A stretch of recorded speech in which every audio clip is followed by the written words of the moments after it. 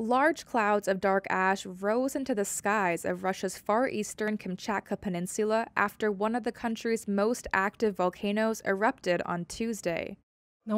It's nine in the morning, said one woman under a darkened sky. The ash is falling.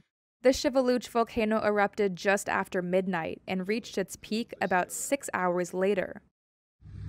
The ash cloud from the volcano covered almost 42,000 square miles, according to the Kamchatka branch of Russia's Geophysical Survey.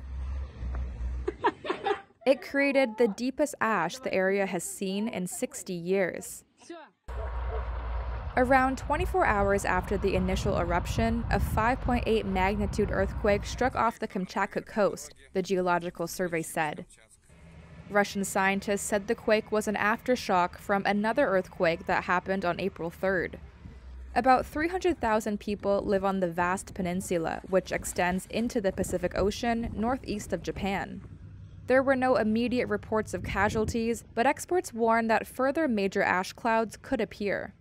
The Kamchatka Volcanic Eruption Response Team also issued a red notice for aviation and cautioned that ongoing volcanic activity could affect international and low flying aircrafts. Sheveluch's last major eruption happened in 2007. It's had an estimated 60 substantial eruptions in the past 10,000 years.